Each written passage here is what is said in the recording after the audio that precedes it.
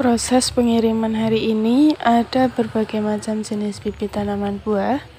Di antaranya ada bibit kelapa hijau hibrida tinggi sekitar 70 sentian dan masih banyak lagi jenis bibit tanaman buah lainnya.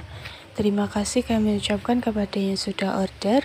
Untuk pesanan akan segera kami kirim hari ini juga.